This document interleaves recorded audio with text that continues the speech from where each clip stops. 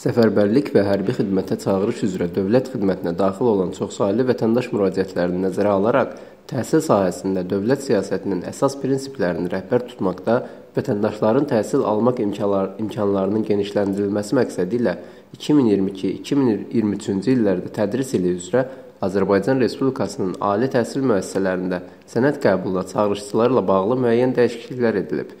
Bildirilib ki, 18 yaşı bu il mayın 1-dən sonra tamam ol olacaq əvvəlki ilin məzunlarına cari ildə ali təhsil müəssisələrinin bakalavriat səviyyəsinə qəbul üzrə müsabiqə iştirak et müsabiqədə iştirak etmələri üçün imkan yaranıb.